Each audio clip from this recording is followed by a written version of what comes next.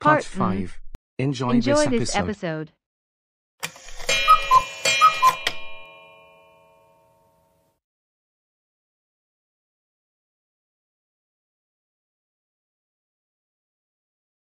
Well, I have escaped from that death trap, thanks to pencilmate Dawn and Piplup.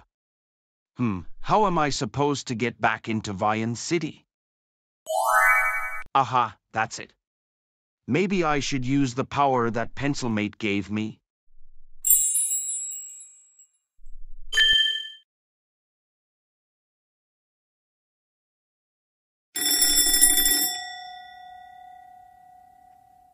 Oh god, I must run. Go Greg Gumbel.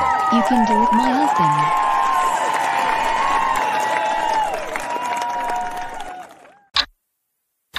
Wow, I can't believe I am back in Vian City.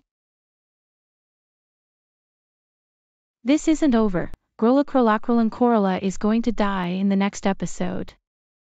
Mark my words.